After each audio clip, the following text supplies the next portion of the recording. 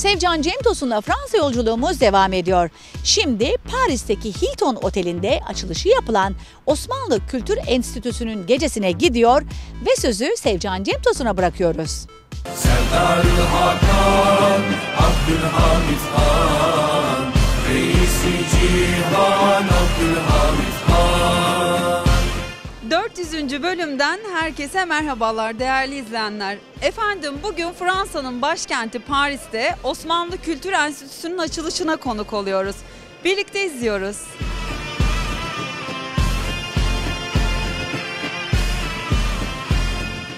Paris'teki Hilton Otel'de yoğun bir katılımla gerçekleşen açılış programına Türkiye'den Sultan II. Abdülhamit Han'ın 4. kuşak torunu Şehzade Abdülhamit Kayıhan Osmanoğlu ve Osmanlı Hanedan ailesi danışmanı tarihçi yazar Şafak Tunç da katıldı.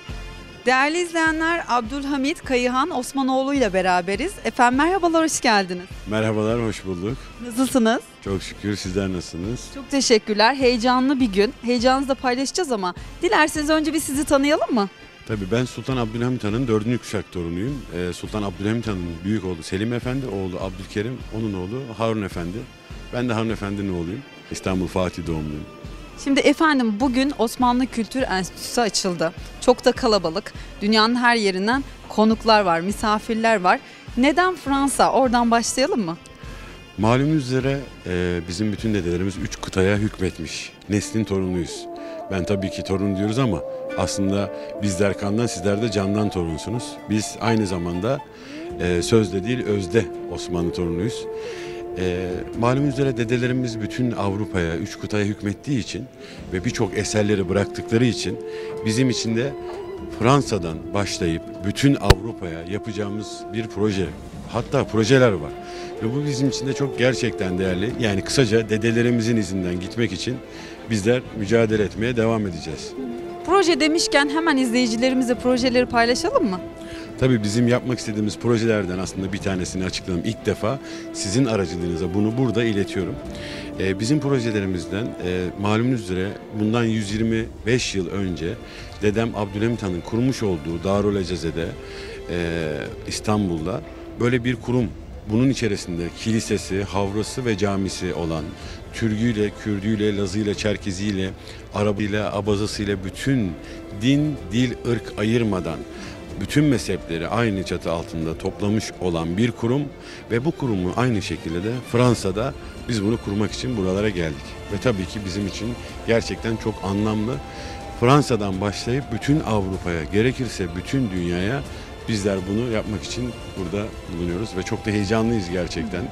Güzel bir heyecan. Biz de sizlerle bu heyecanı paylaştığımız için mutluyuz. Ben çok teşekkür ederim verdiğiniz bilgilerden dolayı.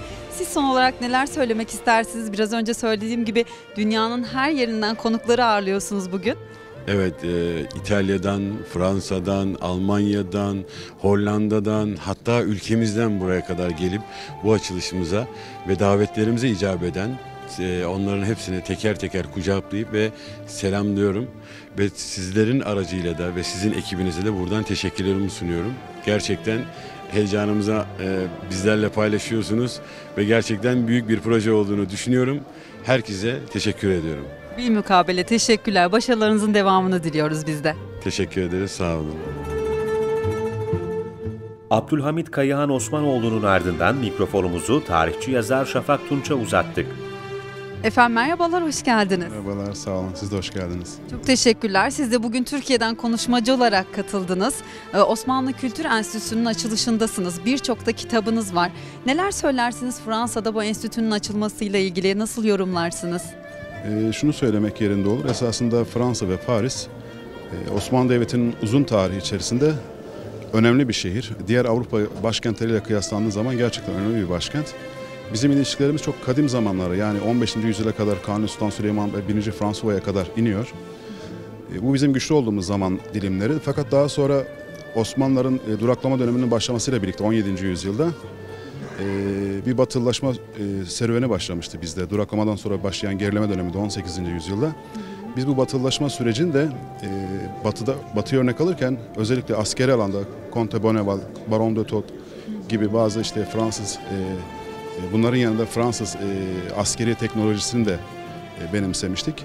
O yüzden gerek e, hukuki anlamda, gerek okul anlamında Galatasaray Lisesi gibi, gerekse askeri silah teknolojisi bakımından bizim Fransa ile ilişkilerimiz çok eski zamanlara dayanmaktadır.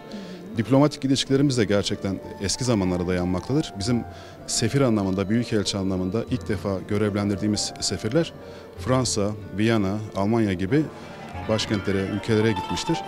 O yüzden bizim de amacımız bu derneği oluştururken esasında siyasi e, amaçlardan, hedeflerden ziyade kültürel ve sanat anlamında Fransa ile çok eskiye dayanan Fransa ile Türkiye arasındaki ilişkileri daha sağlam bir zemine e, atmak, daha sağlam bir zeminde yürümesini sağlamak. Buradaki Fransız halkıyla, burada yaşayan gurbetçi Türk halkıyla Türkiye arasındaki bir kültürel köprü, sanat köprüsünü kurabilmek, böylece insanları birbirine yakınlaştırabilmek. Esas hedefimiz bu. Başka bir düşüncemiz yok. Kültür ve sanat. Öncelikli amacımız bu. Efendim çok teşekkür ederim verdiğiniz bilgilerden dolayı. Tekrar hoş geldiniz. Siz de hoş geldiniz. Çok teşekkürler. Sağ olun.